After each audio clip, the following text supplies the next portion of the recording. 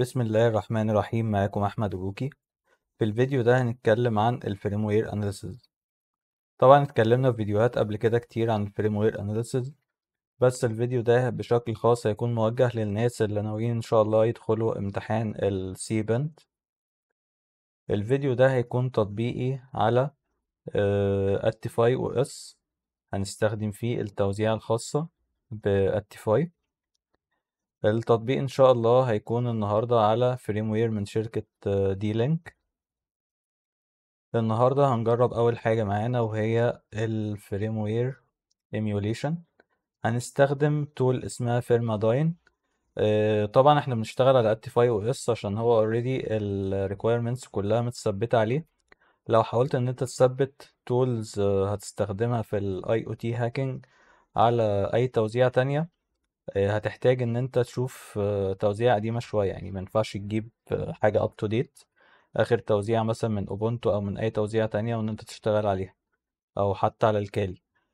دي أول حاجة. تاني حاجة يفضل إن أنت تشتغل جوه Docker أو جوه VM غير ال VM اللي أنت متعود تشتغل عليها لو هتشتغل على حاجة تانية غير Attify OS لأن أنت احتمال كبير جدا إن أنت تعمل break لل system أو لل libraries اللي هي بيعتمد عليها إيه؟ ال system. واحتمال كبير أصلا ما تقدرش تثبت ال tools يعني احتمال كبير ما تقدرش توصل لل لل libraries المفروض اللي أنت المفروض توصل لها يعني. أه هنبدأ على بركة الله. أول حاجة هنروح لل للبيدج بتاعت ال project اللي هو Firmadyne على أه على GitHub.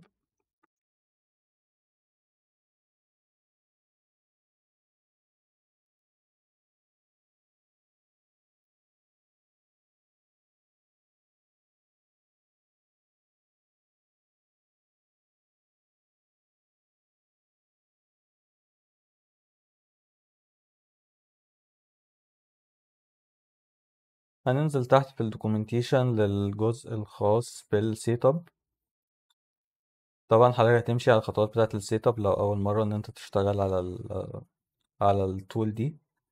أه في هنا تعديلة بسيطة ممكن إن أنت يضرب معاك error بس في مكان معين. هنروح على ال هنا اهوت على ال sources عندنا extractor. extractor.py هنعمل هنا search.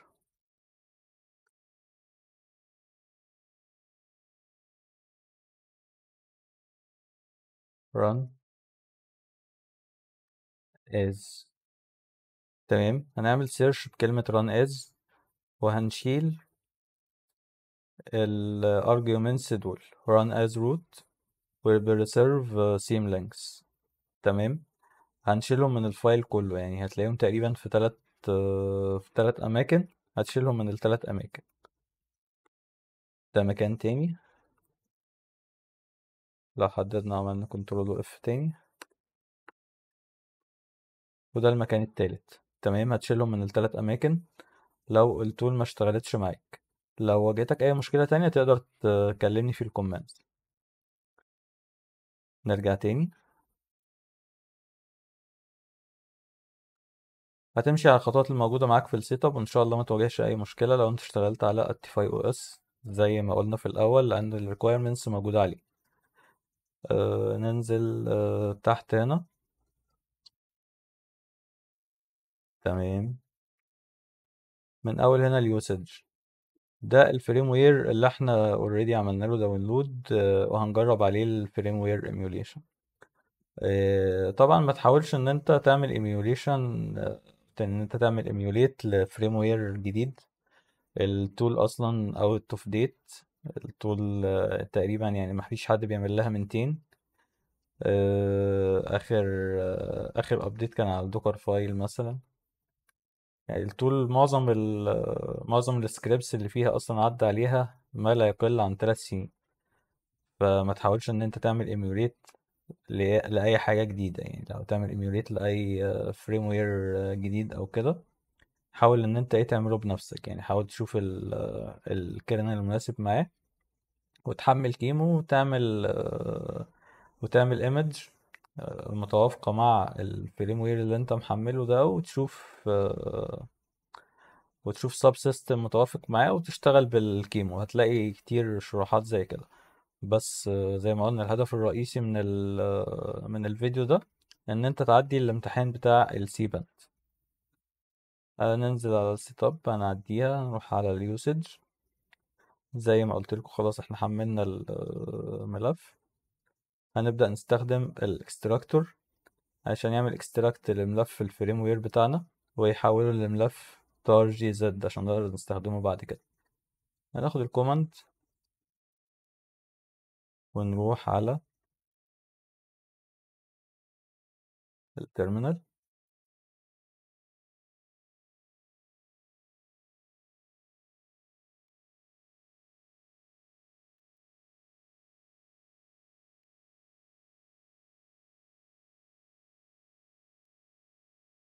هنا بالفعل أنا محمل الملف ال firmware اللي هنشتغل عليه اللي هو ده.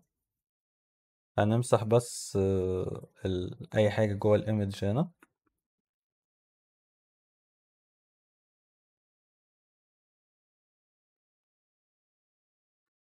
تعود قبل ما تبدأ إن أنت تمسح أي ملفات موجودة جوه ال folder اللي هو ال images. تمام بعد كده هنكتب الكوماند انتر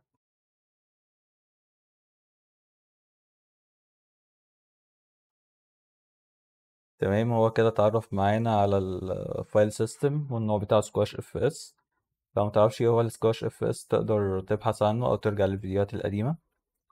آه، هنبص هنا على الفولدر اللي هو فولدر الايمجز نتأكد إن فيه ملف. تمام. موجود فيه الملف اللي اتعمل له إيه؟ اكستراكت اللي هو ملف الايه الفريم وير بتاعنا. أو الملف اللي فيه الفايل سيستم مش ملف الفريم وير بالكامل هو الجزء اللي فيه الايه الفايل سيستم بتاعنا. نروح للخطوة التانية.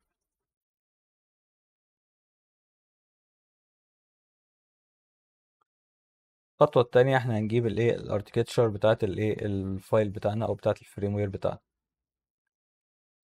في الغالب طبعا زي ما قلت لكم قبل كده معظم الراوترات بتكون مبنية على معمارية ام اي بي اس أما الأجهزة اللي أعلى من كده بتكون مبنية على إيه؟ على معمارية أرم مثلا أو أرم أرم 32 أو أرم 64 وال في معماريات تانية طبعا غير ال غير الأرم والإم آي بي إس.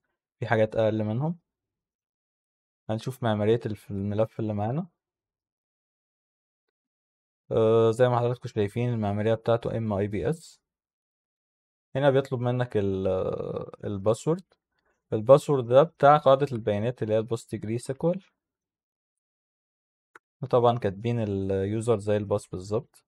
لو طلعنا هنا لملفات السيت اب أو الجزء بتاع السيت اب هنا أنت بتعمل كرييت للداتابيز بتاعت التول دي وهنا بيقول لك استعمل باسورد فيرما داين فإحنا استعملنا الباسورد فيرما داين عشان بعد كده لما يسألنا في أي وقت عايز باسورد البوست جري سيكوال تديله الفيرما داين تمام؟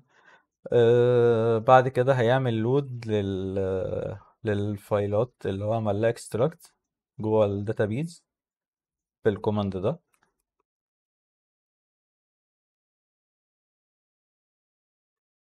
طبعا هيطلب الباسورد. هو هنا بيقول already exist.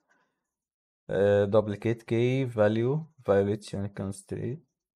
تمام؟ لأن إحنا استخدمنا نفس ال نفس ملف الفريم وير ده قبل كده. فالانتريز دي أصلا موجودة جوه الداتابيز قبل كده. فمش هيقبل إن هو إيه يضيفها تاني. آه، بس آه، طبعا في استخدامك للتول في أول مرة مش هيظهر معاك أي ايرور زي ده.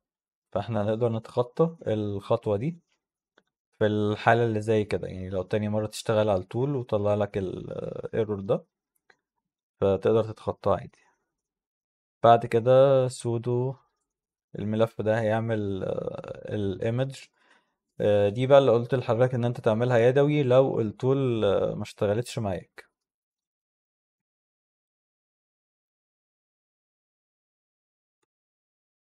أنا عايز الباسورد ماونتنج كيمو ايمج تمام. آه، هو هنا خلاص خلص عمل الايمج بتاعته.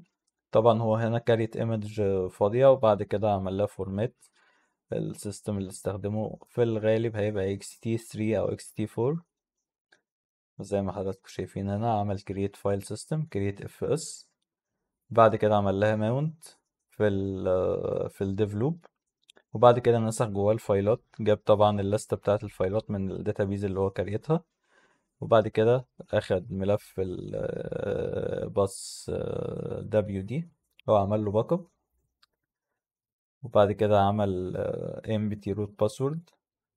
بس دي شوية الحاجات اللي هو عدل عليها في الايمج قبل ما يعمل لها ريباك هننزل بعد كده.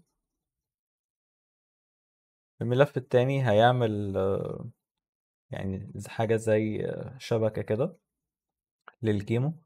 هيعمل نتورك انترفيس للكيمو عشان تقدر إن أنت بعد كده تأكسس الفريم وير ده من خلال الويب يو اي أو إن أنت أصلا تأكسس السيرفيسز بتاعته كلها سواء ويب ويب أو غيرها يعني. نكتب نفس الكوماند وطبعا عشان هو بيتعامل مع الداتابيز هنكتب نفس الباسورد التاني هنا عندنا مشكلة. Permission denied.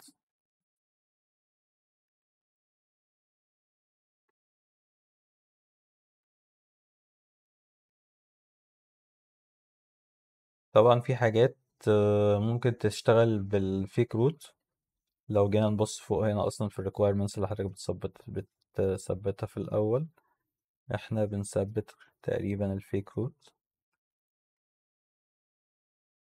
أهوت هنا إحنا بنثبت الفيك روت عشان في بعض الكومنز هنا أو بعض التولز مش هتشتغل معاك غير بالروت بيرميشن وهي اوريدي ما بتبقاش محتاجة أصلا الروت بيرميشن في حاجة. فالحل في الموضوع ده بدل ما تستخدم السودو أو تديلها صلاحيات السوبر يوزر انت بكل بساطة تقدر ان انت تستخدم ال fake root نرجع تاني لل terminal هو أنا بكتب ان هو بياخد ستين ثانية بس هو في الحقيقة بياخد أكتر من كده.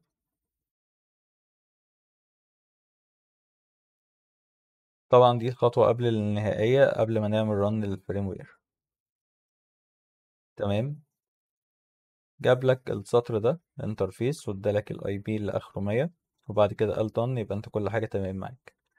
آه، حصل أي حاجة غير كده؟ هتنزل تحت هنا في ال لو ما لقيتش ال file بتاع ال run وهتشوف آه، دي الخ- الخطوات اللي أنت تقدر تستخدمها عشان ت troubleshoot الموضوع ده. تمام؟ معنا طبعا مفيش مفيش أي مشا... مشكلة حصلت يعني فهنكمل. الخطوة اللي بعد كده إن إحنا نعمل run لل firmware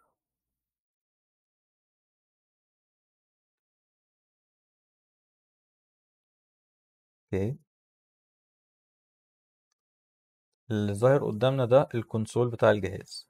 يعني لو معانا ال hardware ده والجهاز بي boot وداخلين عليه من خلال ال UART interface ده نفس اللي إحنا هنشوفه بالظبط من خلال ال UART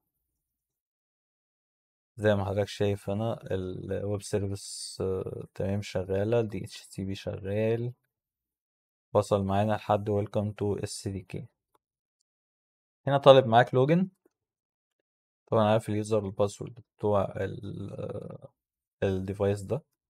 نقدر نستخدمهم. root password كده إحنا معانا root shell على ال firmware كأنه شغال جوه ال hardware بتاعه. إيه اللي إحنا نقدر نستفيده دلوقتي؟ نقدر ان إحنا ن access مثلا ال web service بتاعته.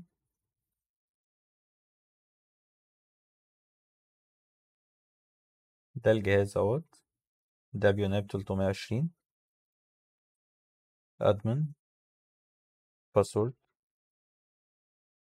طبعا مش كل ال functions هتكون شغالة معاك 100% أه بس أه تقدر إن أنت ت review الجهاز كأنه هو عندك يعني تقدر ت review ال firmware كأن معاك ال hardware وهنا انت معاك root shell عليه كأنك داخل على الجهاز من خلال ال UART.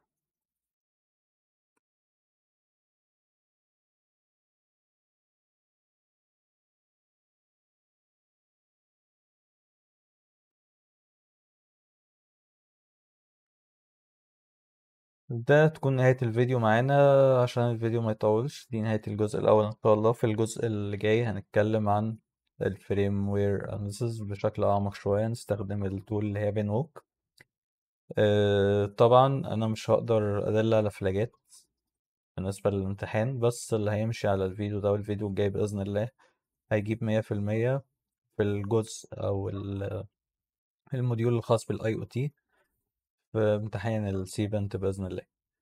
أه ده هيكون نهاية الفيديو معانا. بشكركم على حسن المشاهدة وإلى اللقاء.